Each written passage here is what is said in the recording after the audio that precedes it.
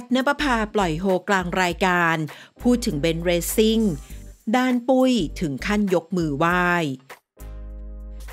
เมื่อวานนี้เบนซ์ เรซซิ่งได้รับการปล่อยตัว ในเวลาต่อมา แพท ณปภาโพสต์รูปภาพร่วมเฟรมพร้อมหน้ากับเบนซ์ เรซซิ่งรวมทั้งน้องเรซซิ่งหลังได้รับการปล่อยตัว ลงในอินสตาแกรมส่วนตัว ซึ่งถือว่าเป็นครั้งแรกในรอบหลายปีที่ได้เห็นภาพนี้ ทำเอาหลายคนเห็นแล้วน้ำตาซึมไม่ได้ และอีกหนึ่งคำถามที่หลายคนคงสงสัยเกี่ยวกับความสัมพันธ์ต่อจากนี้ของแพทนปภาและเบนเรซิ่งซึ่งจากที่หลายคนรู้ว่า ขณะนี้แพทนปภากำลังคบหาดูใจอยู่กับแฟนหนุ่มรุ่นน้อง พีชานนท์ซึ่งก็มีชาวเน็ตทั้งสองฝ่าย ที่อยู่ทั้งทีมของเบนเรซิ่งและพีชานนท์แฟนใหม่ของแพทนปภา ล่าสุดในรายการแชร์ข่าวสาวสตรอง แพทนปภาได้อ่านข่าวเกี่ยวกับเบนเรซิ่งซึ่งแพทนปภากล่าวถึงประเด็นที่หลายคนสงสัย เกี่ยวกับความสัมพันธ์ของตัวเองและเบนเรซิ่ง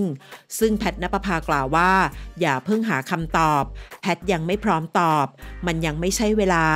คือทั้งแพทพี่เบนยังไม่พร้อม พร้อมกับร้องไห้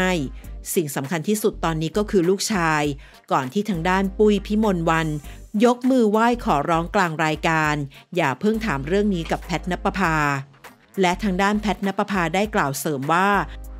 หากใครที่ติดตามแพทกับพี่เบนจะรู้ว่าจริงๆ เราแยกย้ายกันไปนานแล้ว แต่หลายคนอาจจะลืมไป